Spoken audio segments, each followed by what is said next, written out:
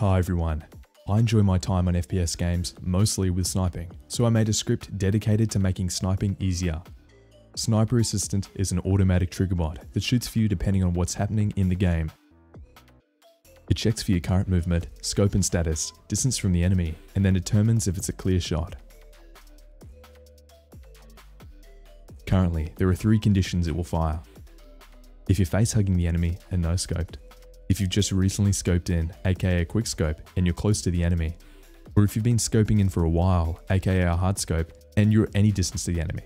Same thing for scouts, however, you're able to shoot in midair and quick scope times are way faster.